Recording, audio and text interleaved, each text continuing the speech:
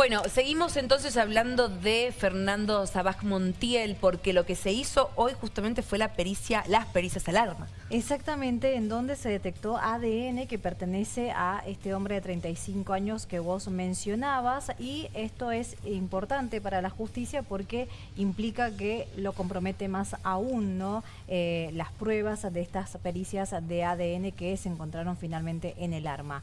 Obviamente que se están llevando adelante una serie de pericias, no solamente en el arma, sino también en los celulares, que en instante vamos a contar también qué pasó con el celular de, eh, de Sabac Montiel, ¿no? Y en cuanto al arma, eh, es importante también tener en cuenta que dónde se encontró, por ejemplo, el ADN, que ahí se los comparto, que fue en lo que es todo lo que ve eh, cuando uno carga del arma, diríamos. Claro. Cuando la monta. en la monta, exactamente. Ahí en esa parte se encontró ADN, también eh, en lo que es la... Mm, ay, no me sale la palabra, la empuñadura. sí, la empuñadura. Ahí está bien.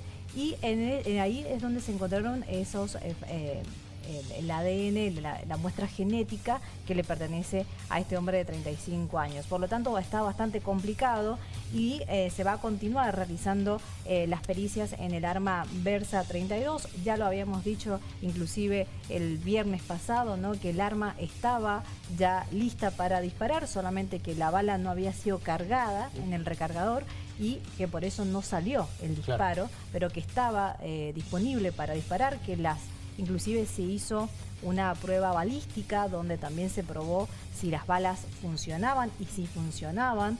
Eh, todo esto se realizó en estos días, por lo tanto era un arma que estaba eh, lista para el uso. ¿sí? y a eh, esto se suma encima las 100, los 100 proyectiles que encontraron en su casa cuando hicieron el allanamiento el viernes a la mañana. Además. eso lo complica todavía más. Mucho más, es decir que en este sentido está bastante complicado. ¿no?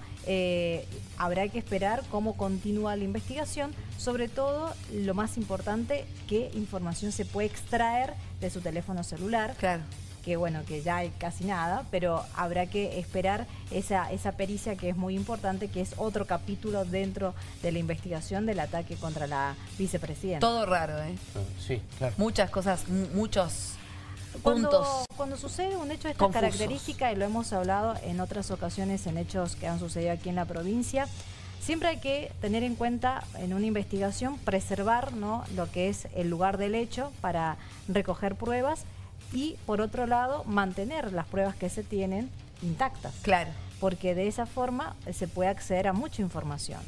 En este caso hubo mal manejo de algunas de esas situaciones que van a impedir que se pueda avanzar correctamente en la investigación y que sea la información objetiva que se pueda extraer de eso, ¿no? Claro, claro, totalmente. Por ejemplo, en este caso se pudo extraer la muestra de ADN porque se pudo preservar, diríamos, el arma. Claro. Si alguien hubiese manipulado, ya está contaminada y ahí cuesta mucho más extraer esa prueba genética. ¿El arma se preservó bien? Sí, porque se pudo extraer la muestra, eh, las muestras para poder después hacer el cotejo de ADN. Ahora, ¿qué pasa con el celular? Bueno, es otro tema, ¿no? Porque también es una de las pruebas claves para poder determinar cuáles fueron las últimas conversaciones, cuáles fueron los últimos contactos, qué vinculaciones tenía, a quién respondía, si respondía a alguien o no. Es decir, muchos cuestionamientos que también hacen a parte de la investigación. Claro. bien. Bueno, lo vamos a hablar más en profundidad dentro de un rato. En un rato nada más para ver qué pasó. Es el tema del momento también, lo que pasa con el celular de, Fernando Andrés Sabac Montiel. Gracias, Sofía. Gracias.